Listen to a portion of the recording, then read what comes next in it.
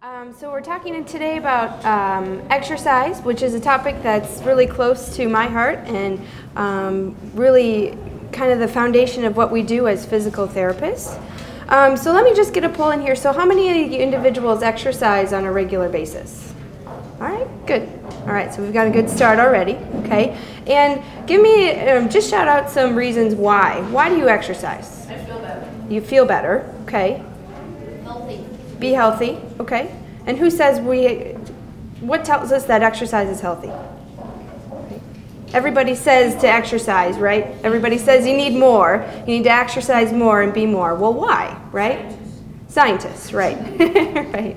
So we know that it has all of these really good benefits, all right? So um, today what we're going to go over is the relationship between exercise and actually brain health some areas that are new and developing as far as the benefits of exercise on your memory and on how you how you think and how you function, which is relatively a new area. So we know that it's good for your heart, we know that it's good for your muscles, your bones, all those kinds of things.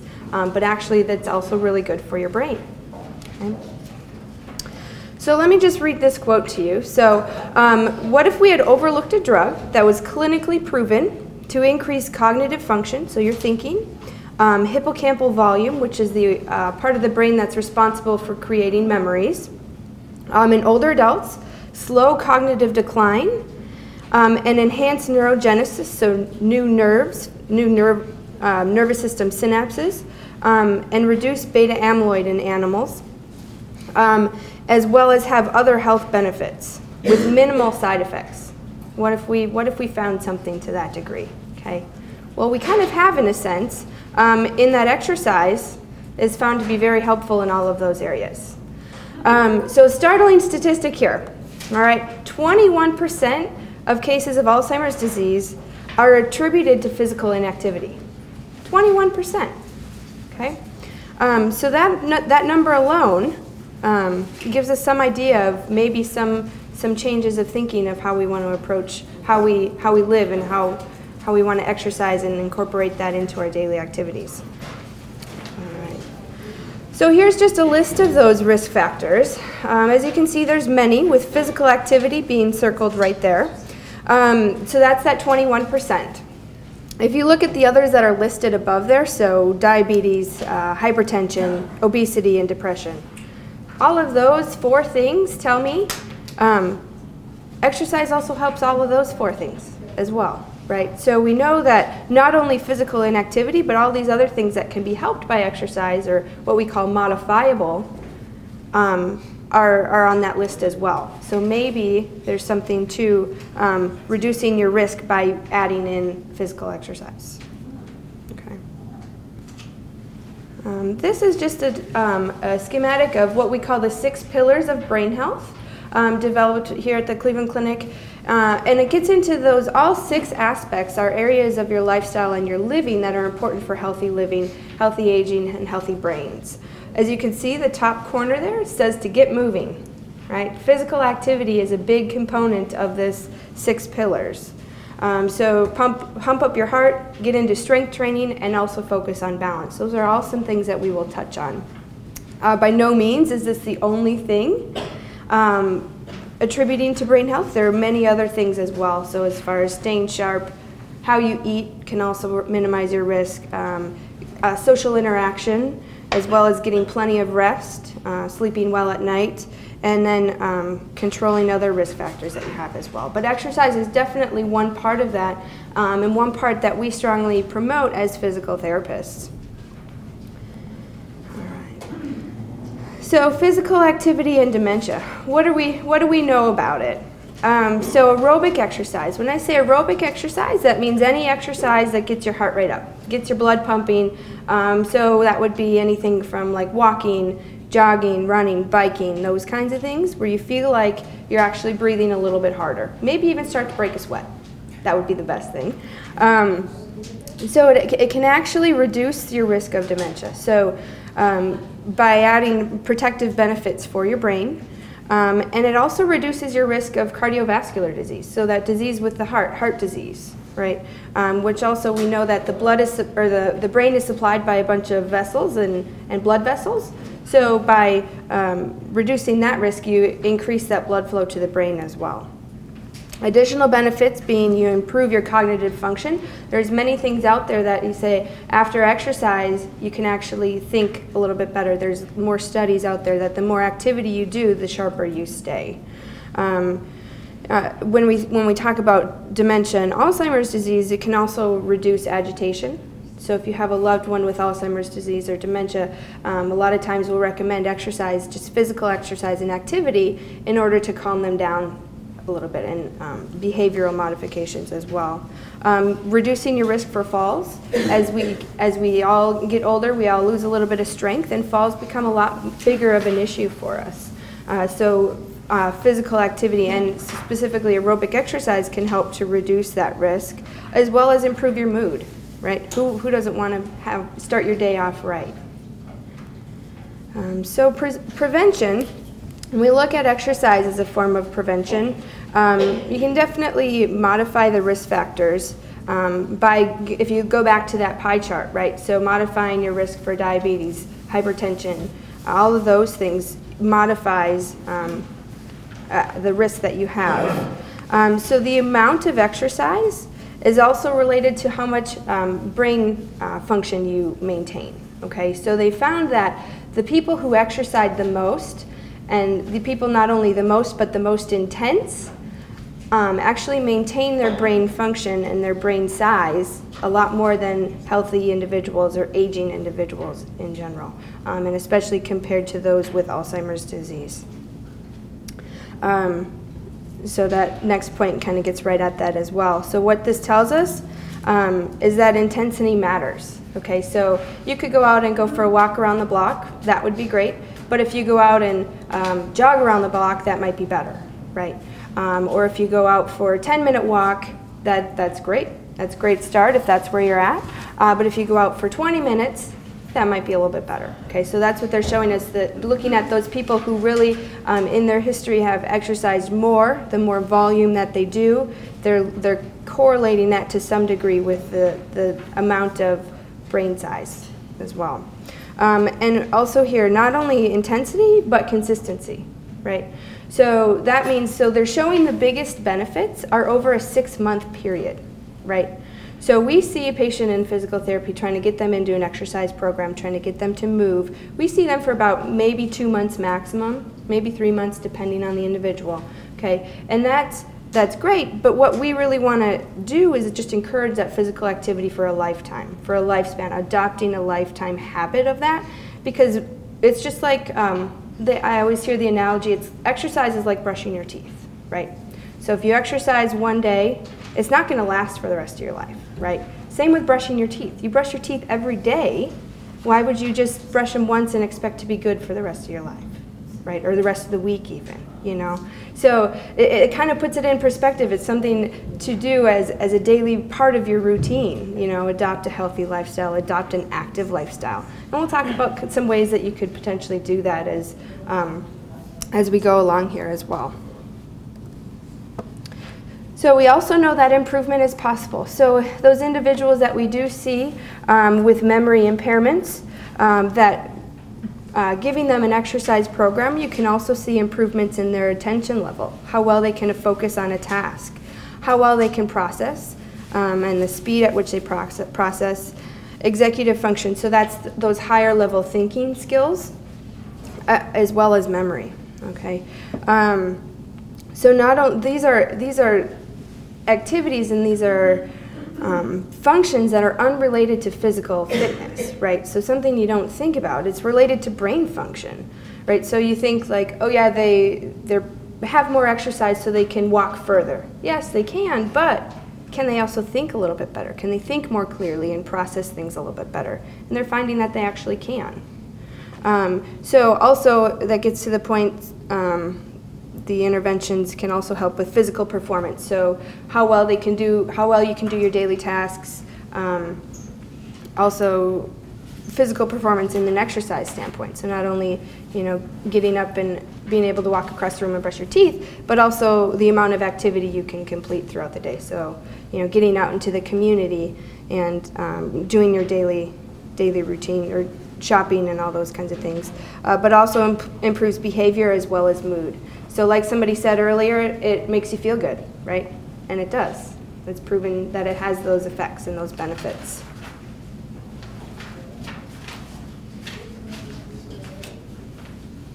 Okay.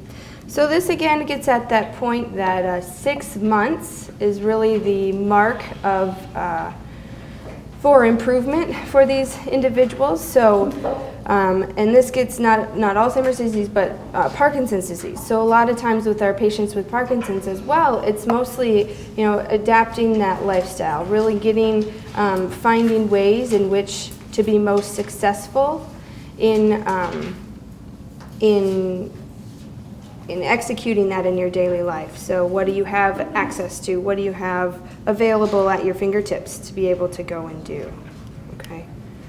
Um, but same thing goes for here, not, not necessarily Alzheimer's disease, but also Parkinson's disease with that executive function, cognitive function, and memory as well. So, across the span of the diseases that we definitely see here. So, exercise. When we say exercise, that's great, right? But how much exercise do we actually need?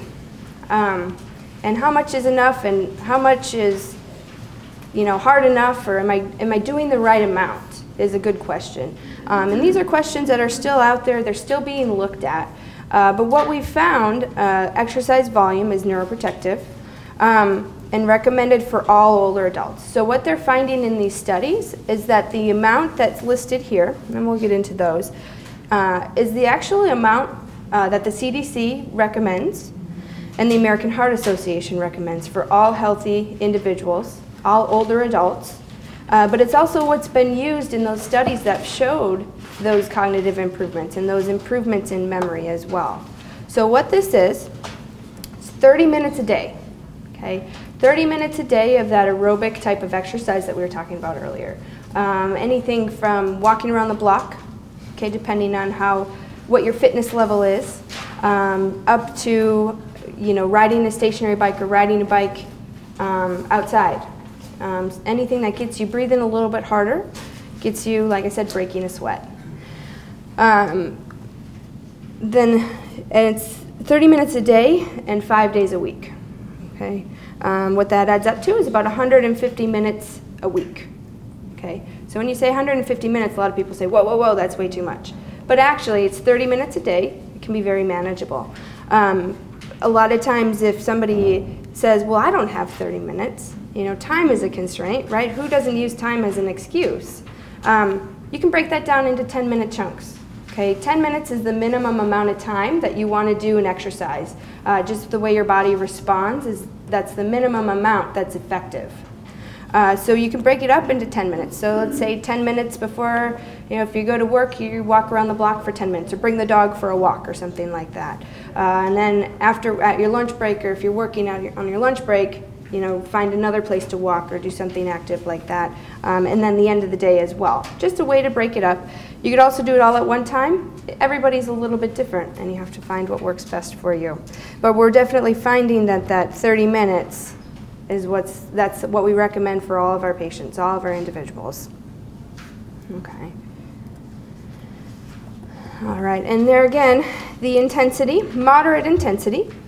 A lot of times in the clinic, we'll use heart rate as a measure of intensity. Uh, so there's a lot of data out there about um, how what intensity you want to be at. Um, and I didn't get into that just because we don't all have ability to check what our heart rate is, right? Um, there are a bunch of heart rate monitors out there on the market. We, we use some in the clinic occasionally. And if you really want to know, I can, I can give you the resources that you need. Um, but really, what it comes down to in the easy way that we determine how hard you're working is that scale you see right on the bottom there. So, zero all the way up to 10. Okay? It's a perceived exertion. So, um, you can see one through four is a light intensity. So that may mean you're walking at a leisurely pace, um, you're able to hold a conversation, all kinds of, um, I mean, so the light intensity, maintaining conversation. Uh, moderate intensity, five to six. And then seven to eight, moderate to vigorous. That's kind of the range that we recommend for most people. Okay, and that's going to be different for everybody, and that can be different based on day to day. You know, if you're more tired one day, you're going to feel like you're working harder. So it's teaching individuals how to uh, monitor how they're feeling while they're working and while they're exercising, as well as continuing to monitor over a period of time. So that six, uh, we recommend about five to seven is that appropriate range that we would like to see for that entire 30 minutes. And that might be something that you work up to, okay? Um, if you've been exercising for a long time, next time I challenge you to think how hard you're actually working or exercising. If you use that scale, say, am I actually working hard or am I just kind of going through the motions? So again, because it gets at that intensity is what is uh, proven to be most effective. So if you're able to add in a little bit more intensity to what you're doing. All right, so now aerobic exercise. Um, whole long list of things here. And um, walking is definitely what we typically recommend just based on the population that we see. It's usually the easiest because uh, you could um, usually go outside or walk around the park. There's plenty of parks in this town, which is fantastic. Uh, so that's usually the easiest. If anything, in the summer, you say it's too hot, there's a lot of malls that have walking programs, especially in the mornings before they open. You can go inside and walk on a level surface, not have to worry about your environment and things like that. So walking is definitely helpful in a lot of individuals, and that's the people that we typically see have difficulty walking for longer periods of time. So really challenging them to walk a little bit further each time, uh, and, and definitely getting their caregivers involved is what we've found to be very, very effective. Um, dancing, swimming, uh, each of these are individual. You know, I had a lady yesterday say, I really love to dance. I would go every night if I could. And so that's what she really enjoyed doing. And so we look at that, and each person's a little bit different. And I'm not going to recommend her to go to a pool and go swimming if I know she really likes dancing. You know, or I'm not going to encourage somebody to ride a stationary bike if they've never learned to ride a bike, if they never enjoyed riding a bike. I won't I won't make them do that. You know, um, it's all based on an individual basis, and again, it's adopting that active lifestyle, that healthy lifestyle. So we want to find something that you enjoy, right? Who wants to go and just go through the motions and not enjoy what you're doing? So finding that um, something that you enjoy can really add to how much you would like to do it as well. Again, make it a habit, right? So one year of that cardiovascular exercise, again, those same benefits that we see. So not only that six-month time frame, but a year, right? So extend it out and it, um, really make it part of your um, part of your healthy um, daily activities as well. Okay, see how, see how much fun they're having in those pictures too. Yeah. They enjoy what they're doing. Okay. So then we get into some strength training. Um, uh, strength training is very important because as we all get older, we all lose about 10% of our, our muscle mass every decade of life, right? Regardless of what we're doing. So in order to kind of stay on top of that, strength training is how we, how we build up muscle, how we gain muscle. Uh, and the stronger you are, the more uh, reduced risk of falls you have, the better maintained independence you have, even as healthy individuals just aging over the lifespan. Uh, so what's recommended on that, if you look back to that other picture that we had as well, um, oh, it doesn't say it on there, that's the aerobic part. Anyway, the other part of that recommendation is strength training. Okay, and two or more days of days a week, um, and involving all major muscle groups. Okay, so that would be major muscle groups of the legs, of the arms, um, shoulders and back as well, uh, just to name a few, um, in order to maintain that healthy, healthy muscle mass. And balance, all right. Um, so balance is also something that declines with age over time. Um, so adding in balance to all those, um, to your regular exercise routine is very helpful. Um, What's recommended for this is about three days a week. Okay, um, and what does balance exercise? What do balance exercises look like? Well, they can look like any of these individuals here. Um, but if you're not on a beach anywhere doing yoga, um, you can just do what these list here. So these five that are listed right here are the ones that are recommended by the CDC. You know, in order to improve balance. So what it is, walking backwards, right? We can all do that. Uh, make sure the environment is safe. If you need to, um, if you're feeling unsteady, if you notice any changes in your balance, you may want to have something close by, you know, like a counter, I usually say countertop or a wall, something to hold on to. Because um, if you're feeling unsteady, usually all it takes is just touching a fingertip down. All that, all that takes, and then you feel a lot more stable that way. Um, so being something near something that's nice and sturdy can be very helpful. Walking sideways, okay? So walking sideways gets at those muscles of your hips that really um, help to keep you stable as you're walking. You know, we always walk forward, right? So those muscles of the hips, especially those side muscles, don't get as much exercise. They don't get as much activity. Um, so by walking sideways, you can activate those muscles. You're also having to hold your balance as you walk a different direction than you're used to what forward would be. It's a different type of balance. Um, so heel walking, okay? Um, heel walking would be like you're standing on your, on your heels, right? You're lifting up your toes, and you're trying to keep your legs or your knees as straight as you can, and you just walk forward, okay? So keeping your toes off the floor, and you're gonna walk forward on your heels. Um, the other alternate to that would be toe walking, right? So just the opposite. So you're coming up onto your toes, and you're gonna walk forward. Okay, those two specifically really work to help improve your ankle strength. And your ankles are a big piece of your balance.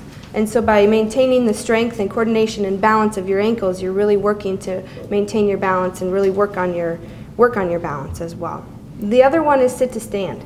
Okay? Something we can all do. We do it every day. I challenge you next time though, every time you go to stand up, pay attention to how you do it, right? Do you use your hands to push up from the chair? Are you looking for something to pull up on as you do it? Um, because sit to stand really works all of the major muscle groups of your legs. It's something we do every day, but if we start depending on our hands um, to help us pull up, or if we're compensating in some way, we don't use those muscles as much. So then they get a little bit weaker, okay? So I challenge you, uh, let's go ahead, let's just do it right now. So go ahead and just stand up for me. Now you're gonna pay attention. I should have had you do that before.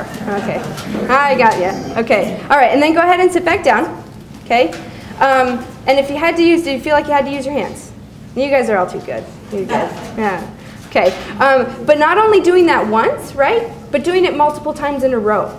Okay. So doing it 10 times in a row, nice and controlled, can have very good benefits in improving your balance as well. Okay. I should make you do that five times just to wake you up, but I'll hold that for later. Okay. So now what? All right, so we know the benefits of physical exercise. I've presented that to you as far as um, not only the physical benefits, but the, the brain benefits as well, um, and the mood and, and all those kinds of good benefits. So why don't, why then do less than half of all adults meet those guidelines we're talking about? That's 48% only meet, less than half, right? So we all know the good benefits. They tell us, they tell us all the time. Hey, but why, why don't we? Any reasons anybody has? Lazy. Okay. Unmotivated. Motivation, reduced motivation, yep. A lot of television. Television, yeah, there you go. Distractions, Priorities. priorities, yep. Injuries. Injuries, yeah. Those are all very good concerns. Injuries for sure, because you feel like if you do it again, you're going to hurt yourself more, you know. work out too hard the first time and it hurts, so they don't go back. Correct. Okay. So you work out too hard the first time where it hurts too much. You don't want to do it ever do it again, right? I, I understand that. And um, people look at me like when I'm look like look at me like I'm crazy when I say, well, actually, you know what will help that? Exercise, right? Um, muscle can, muscle uh, fatigue or muscle soreness can greatly be helped by exercise, um, and that's a proven fact. It's not always pleasant, but it, but it definitely helps. Um, but those are all great reasons, and we all have those reasons. We all have excuses, right? We, we know the evidence, it's out there, it tells us that we should be exercising, yet we always come up with these good reasons why we shouldn't, right? We're too tired, um, I didn't eat a good lunch, I'm too hungry, um, it's the gym is all the way across town. I'm not going to make it there. Um, I'm too afraid of injuring myself, or I'm too afraid of falling, which is for a lot of our individuals and a lot of our patients we see is, is the truth. Okay, so there's a lot of reasons why, and maybe that's the reason why that number is so low. Okay, um, as therapists, that's the number that we want to see go up, just based on uh, we, we know the good benefits, and so we want to see everybody living a healthy and active lifestyle. All right, so these are what we call barriers barriers to exercise. And these are real. I mean, I go through this struggle every day, right? I like to exercise, but sometimes I just don't feel like it, right? So, um, obviously, motivation is on there, lower on the a little bit lower on the list. But the three most common factors or barriers to exercise um, are low outcome expectations. So, what do you expect to get out of exercise? You know, am I going to exercise once and feel 100 times better? Well, maybe that's a, an unrealistic expectation. Or exercise, that's not going to help me. You know, I don't see how it could help me. So, you're not expecting any outcomes, so you're not really going to look for those outcomes. You're not going to see them. Um, so that that's a big piece of you know education of far, as far as what we do is promoting exercise as a way to promote brain health. You know, that's something that we use with a lot of our patients to really make them understand that this, this can help you. Um, lack of time, that's, that's a big one, and I think somebody mentioned that. Um, you know, we're all busy, we all have other things that we would definitely like to do uh, that are much higher on our priority list, um, as well as fear of falling or fear of injury. You know, those are all big, big barriers. Um, in addition, reduced confidence, when you're exercising, convenience, that gym is way across town, or, um, you know, I don't have access to uh, exercise equipment. Um, fear of injury, again, it's boring. I think some, did somebody say that earlier? Maybe. Um, it can be boring, right? You say, I can't recommend to somebody go and hop on a stationary bike for 30 minutes without them, you know, mind wandering or really wishing that 30, sec- 30 minutes would come a lot quicker. Uh, so I agree, sometimes it can be boring, but that's why finding what you like to do is so important. Uh, as well as lack of family and friend support too. So if you're trying to start an exercise program and they're pulling you in all different directions and don't really support what you're doing, you're less likely to be able to, to maintain that program as well. So these, this list is why uh, we as therapists get to know our patients very well. Uh, we want to identify those barriers that they have, and you can maybe even look at yourself and kind of in, um, introspectively assess what's preventing you from doing these things or from, from exercising. And that kind of gives us an idea of what, how we need to gear our treatment, how we need to approach the, the topic of improving, or improving exercise in general. Um, self-efficacy. All right, so this is a, a, fancy word for, and I'll just read the definition for you, the extent of one's strength of one's beliefs in one's own ability to complete tasks and reach a goal. All right, so that gets back to that expectation outcome. If you don't believe that you can reach a goal, you're probably not going to get there, right? So, and uh, also going into that is knowing what you need to do to get to that goal. So if you don't have those tools, we call it's what we call low self-efficacy. You know, you don't believe you can do it. You don't believe you have the power in yourself to be able to do it, uh, which is going to limit your outcomes for sure. Okay. Um, so self-efficacy and physical activity. Um, so the higher your self-efficacy, the more you're able to do physical activity. So the more you buy into what you're doing, the more activity you're actually able to do. Okay. Um, so we also know that it's predictive if you're able to adopt and maintain an exercise program. Okay. So we want to look at all of those things um, related to self-efficacy, and we look at the long term is um, does this person have the tools that they need in order to be successful in the future? So those are all things that we look at. Um, so you can also change um, self-efficacy and see um, changes in behavior as well and physical activity. So it is possible, if you take a person who doesn't believe in it, it is possible to change that thought and that thinking, which is very important for us to know that we're not just kind of repeating ourselves over and over again. Um, so what in the population that we see, uh, behaviors towards physical activity uh, might be a lot different than, than another individual. Um, a lot of times, low self efficacy is a big problem. Um, they're presented with this disease and they're not really sure what they're able to do, right? So you get a diagnosis and um, you know your self-efficacy is, you know, I'm not going to be able to do that, so why try, right? Um, you aren't aware of what outcomes are possible, right? So you just think it's the disease process and you aren't aware how far or what things you can take back or improve on.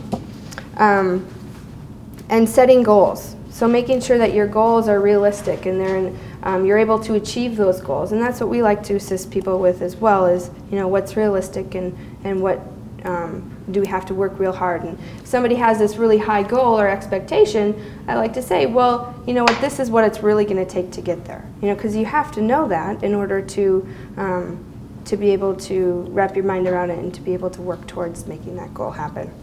Um, as well as uh, working with facilitators. Um, so facilitators would be caregivers, uh, family members, as well as personal trainers.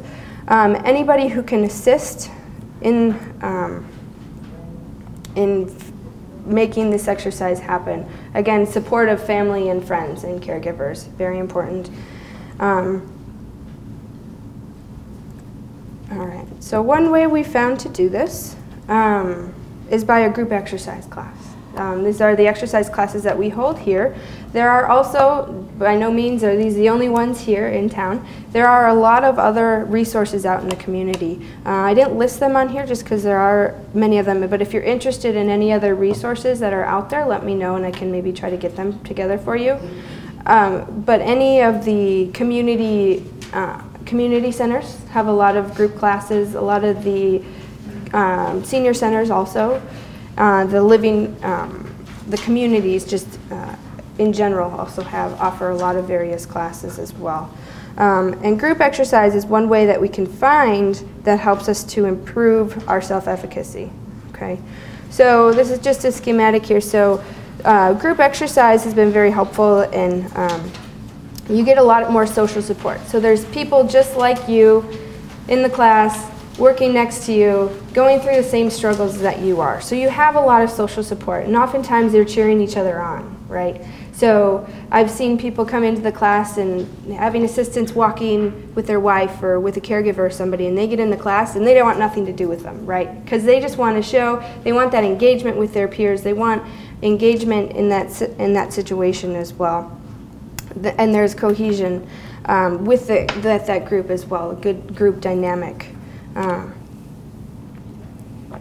uh, as well as with motivation. All of that then leads to motivation. And then that motivation encourages you to show up every week. It encourages you to come back and to, to exercise more and to um, engage more, and you're more adherent to that program. So then maybe you can do that for not only a month, but you can maintain it for, for six months to a year, which we're showing to be beneficial. Okay. Uh, a lot of times what happens what happens when you start an exercise program? Anybody? You're sore the first time. You're sore the first time, right? So you're less likely to want to do it again. Um, let's say you've started an exercise program, you're feeling pretty good, you get a month into it, and then what? Drop out. Drop out, right. Life happens, right? You either get bored, um, you find other things to do, um, and you drop out. It, it, drops off your radar, right? So uh, by having that, that other draw as far as the social support and the group support can really help you stay more motivated. And maybe that doesn't have to be a group exercise class. Maybe it's that you have this, you have a friend and you've committed to this friend that you're going to maintain uh, that exercise program with them. So now you're accountable, right? So you meet every Tuesday and Thursday at the gym and you know you do these certain things and you're able to socialize with them as well. So maybe that's a driving factor, a motivating factor. Having a partner can be very helpful. I know I enjoy exercising a lot more when I do it with somebody else. You know, even if it's swimming where you're not really talking to somebody, I enjoy it so much more if there's somebody else next to me.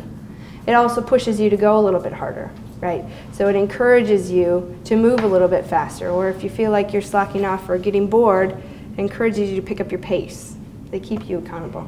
It's really good. Um, so look into getting an exercise buddy. Uh, so tips for success, again, like I was saying, uh, exercising in groups or with a friend. Uh, friends are often good motivators. Okay, if they're not, they're probably not a good friend. Get rid of them. No. Um, um, so you know, keep that in mind as well. Encouraging your friends as well. So say, come on, let's let's go to the gym or let's go do this activity, and and have fun when you're doing it. And then you don't even notice that it's active exercise, right? Exercise. Um, so it makes you accountable. Also, finding those activities you enjoy. Um, I can't stress that enough. I, um, you know, if you don't enjoy it, you're not going to do it. And I can tell somebody as much as I want to to do 10 minutes on a treadmill and 30 minutes on a bike, and if they don't enjoy doing it, I know that when they leave my clinic, they're probably not going to do anything to that effect. Yeah. You know, I think Sure. one of the biggest drawbacks with exercise is, is you feel like you're not making progress. Okay. How do you get past that? Correct. All right, so the question was um, with exercise, you don't really feel like you're making any progress, and how do you get around that? Okay, um, so what I guess I would ask you then what are your goals for exercising, or what are your goals? Is there any goal specifically that you're working towards? Well, sure, yeah, um, endurance, I want to increase Endurance, endurance. okay. Build up a little muscle mass. Okay. Work on my balance, you know, Okay, all the things all of the things. Okay, yep. But, you know, it's slow going, and a lot of folks, Correct. struggle with that. Correct. It is slow going, right? So you str- struggle with that that speed of how how quickly you're able to improve, right? And that's why that is a, that it can be limiting, right? That six months period is where you see good benefits. Um, so maybe um, maybe there's something that you do. Um, that's a great question. You've stumped me. No. um, so maybe there's something that you do that every time you know you you walk a certain distance, you just get so tired. You know, if there's that certain type of activity, so you wanted to improve your endurance. Why? Because it's More help- energy. More energy. Okay. So maybe looking at how how much energy you have, right? So over a period of time, so a month, two months goes by. Uh, and these are these are small, and it's it's hard to monitor because they're in such small increments, right? So um, it's tough to measure that. But if you think back to two months ago, right? So say you got really tired every afternoon by three o'clock after you've been busy around the house or after you've done your your grocery shopping and those kinds of things. Um, so maybe you get really tired and you need a nap every day, right? Well, now look three months down the road. I, I challenge you to look back in the past to see how you were functioning three months ago, right? So you're not going to see those day to day changes necessarily, uh, but think back retrospectively. Think back to um, was I tired or how many laps around the mall could I do before I got too tired and I needed to go home? Um, those kind of small things. Um, if you're like if you're a runner, if you're a jogger, it's it's it's easy to know that you can go further, right? You can walk further or longer, or run or whatever. Those kinds of improvements if you're looking at fitness. Um, so, it, or if you're, um, you know, exercising at the gym, looking to see if I can go 30 minutes and still feel like I have energy to go another 10 minutes. You know, those kinds of improvements to see if you can go a little bit further, push yourself a little bit further. And those are indicators that it is improving. Yeah. Yeah. That's where a buddy can help you too, I think. Exactly. That is is where a buddy can help you as well. Yep. So you can monitor each other, and and a lot of times it'll take somebody else to say, "Well, remember when you know we walked to the mall and you got so tired that time, but now you can look what you can do now." You know, a lot of the people that we see aren't aware of those benefits regularly, and so until you point them out and they say, "Oh yeah, you know."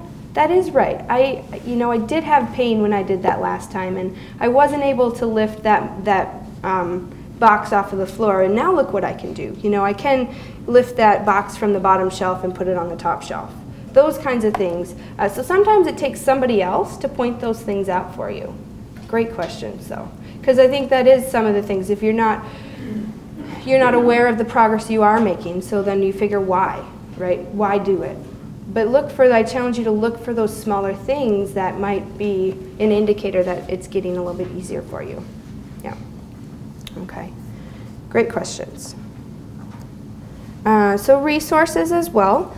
Um, so the CDC has a lot of good information, and that is oftentimes the information we will hand out for individuals who are looking to start movement and to start exercising. It has uh, gets to all of those factors that we got to um, the aerobic exercise, the strengthening and the balance, as well as, as well as flexibility. Um, they've got the handouts you can print out on there, um, and that's definitely what we hand out to individuals and their families. Um, and in the stage to encourage more activity. So these are what the recommendations are, and see. Let's see where we're at with those, and see if we can build up to doing more of that.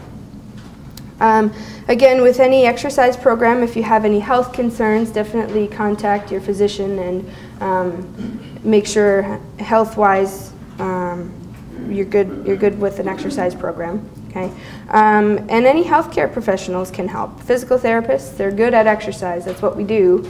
Um, nutritionists as well as physicians. So talking with your physician about you know um, the uh, benefits of, of exercise and maybe they can point you in the right direction. Okay. All right, and that is all I had. Um, more questions? Yes, I'd love more questions. Is there a charge for the group exercise classes here? There is a charge currently. Um, the charge for the class right now is about $80 a month for the exercises we hold here. Um, and if you go back to the slide, the two different classes, there's two, two options. There's a, called, we call them Move 1 and Move 2. So Move 1 is more of a seated exercise class. Um, and what they do is they use a lot of resistance bands and working on strengthening uh, endurance. There's also some boxing involved, like you can see this gentleman down below um, doing boxing, but boxing is a really good cardio exercise as well. So that's one way we found people to get a good cardiovascular or aerobic exercise, even when you're sitting down. You keep that continuous movement going, um, and it's a lot of effort and it actually gets your heart rate going pretty good as well. Yeah. Yes? forgetting to mention, you're forgetting to mention that exercise in which you're raising your heart rate will improve your heart capacity. Correct, yes. So that's the main reason when I'm doing it. When I know when I'm raising my heart, I'm improving my heart. Yeah, now Yes. I'm telling that this- this will benefit the brain get better. Correct, yes. So the question, or the statement was that he's, he's aware of the benefits for his heart. When he's exercising and he's working his heart, he's improving his heart capacity. That's correct. Uh, but they're also finding other brain benefits as well with that too. Yes? How do you see, in physical results, you can Uh-huh. tell like you did before, I'm working harder, I'm doing, I know what Right. Doing. Yes. But uh, the, the title today was to improve your memory. I'm trying to figure out. Right, and that's a little bit more, yes. So the question was, how do you determine if it is improving your memory, correct? Yeah. Um, that's a little bit more challenging, right?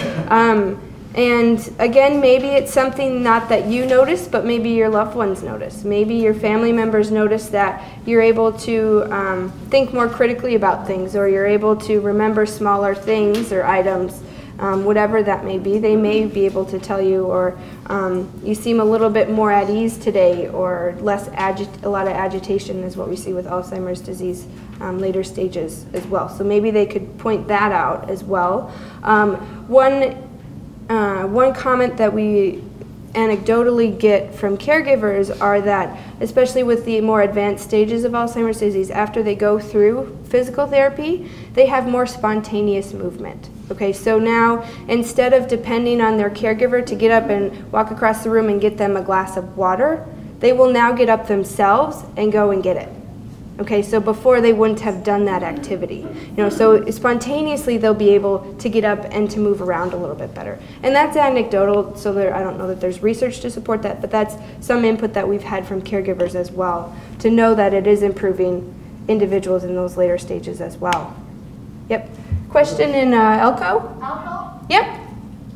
I just, I have an information that, I gotta see, that I got, um, it's, it's an exercise and physical activity book. I got it for free from the National Aging Mhm. Institute. Yep.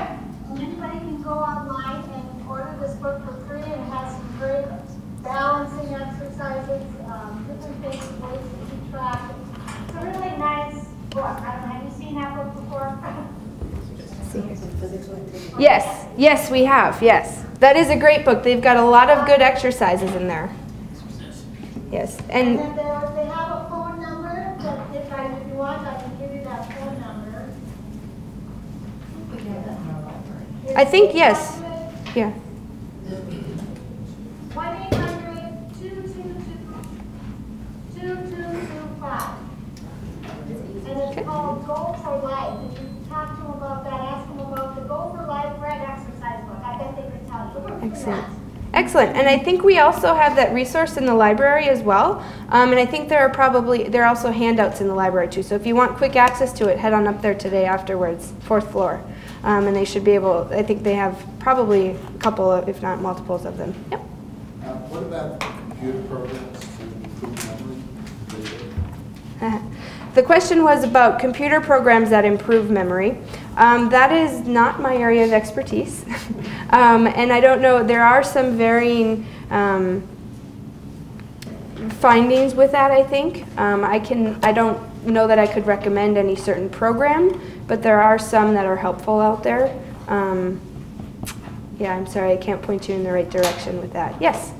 In the, um, in your, uh, six pillars? Mhm. One is keep sharp, and it says, Yes. uh, play, learn, and study. Yes. Any particular activities? I mean, is it learning a language? Right.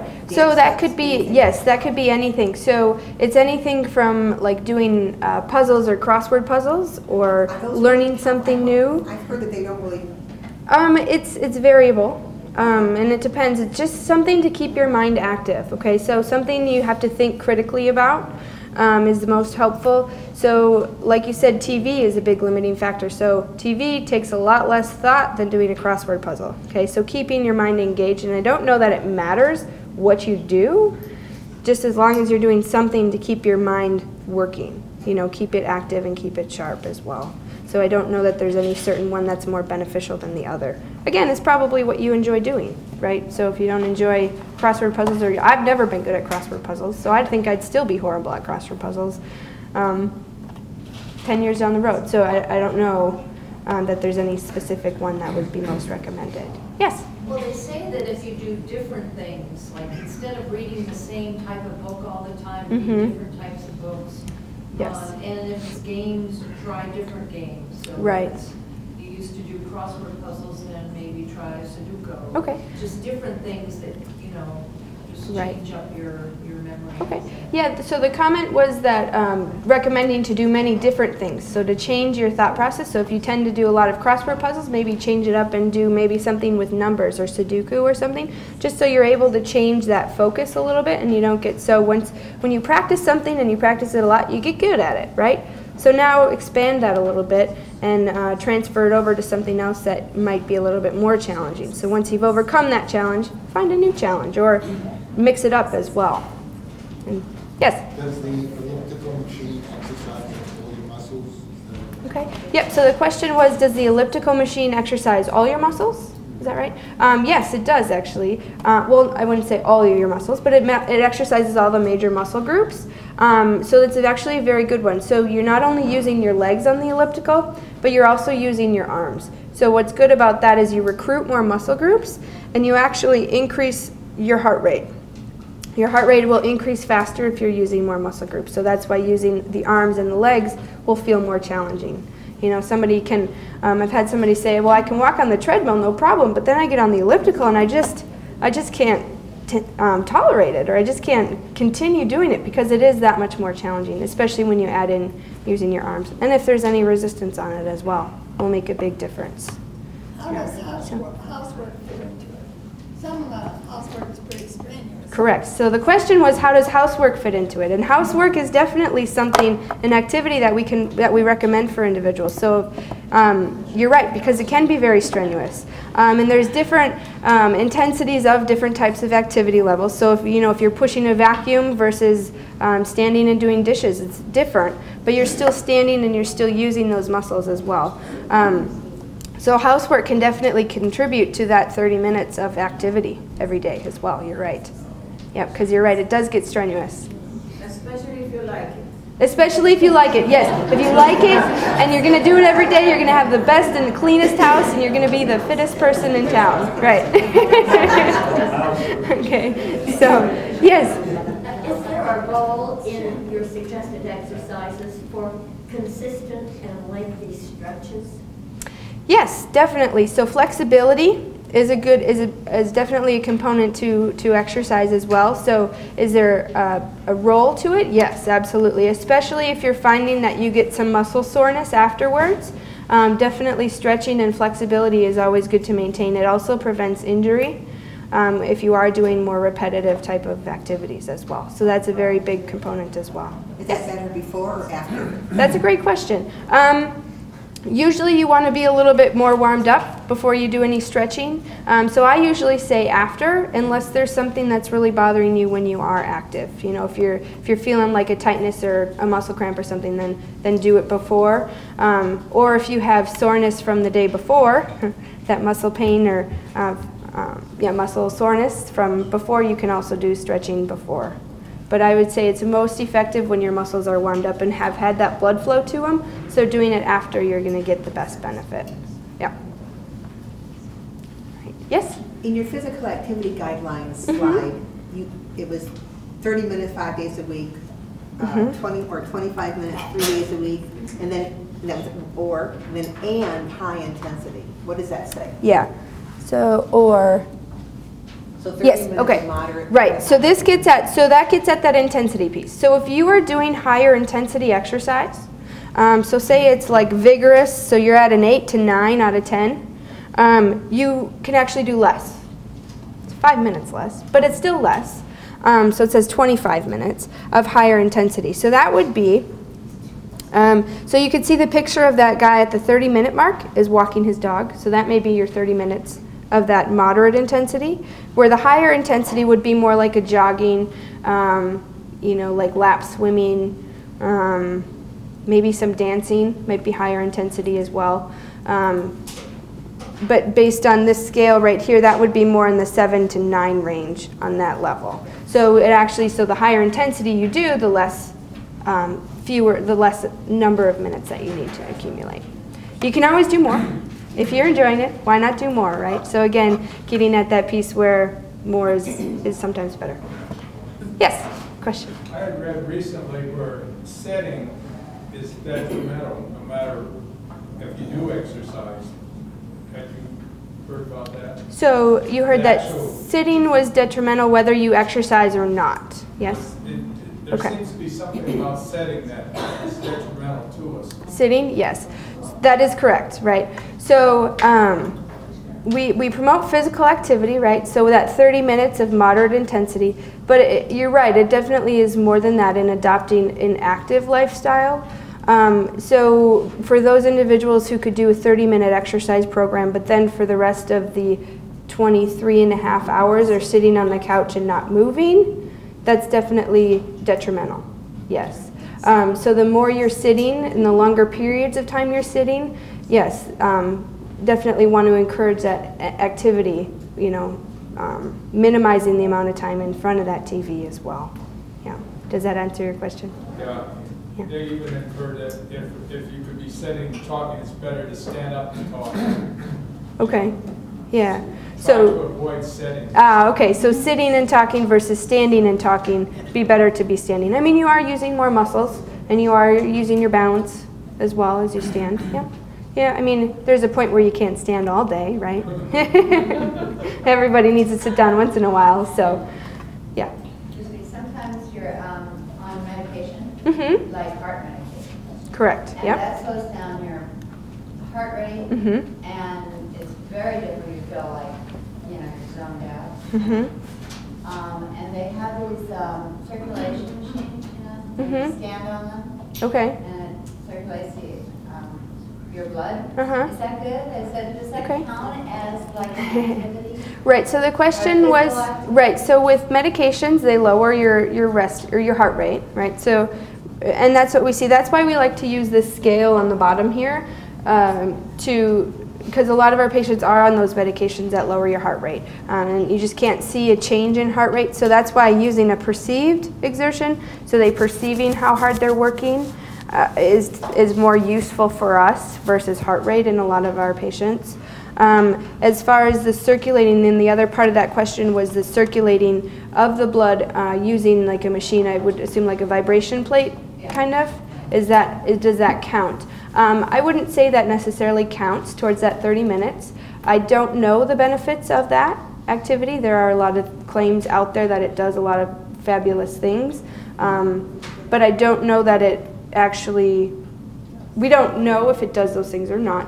Maybe it does, uh, but I wouldn't count it towards those 30 minutes. Just because you're not you're not forcing your heart to work, you're not forcing the the cardiovascular system to work, so you aren't getting that. Maybe it does increase blood flow, but you're not getting that oxygen as much um, as you would with physical exercise. I was on medication, Mhm. and I had low blood pressure, so I had, I went for a second opinion.